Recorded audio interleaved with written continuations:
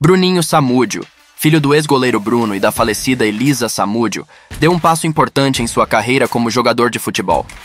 Aos 14 anos, ele assinou um contrato de formação com o Atlético Paranaense, time reconhecido nacionalmente.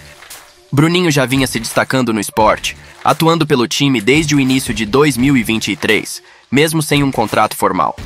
Ele foi descoberto enquanto jogava na escola Pelezinho, em Campo Grande, e após uma avaliação no Paraná, foi aceito na equipe de base do Atlético.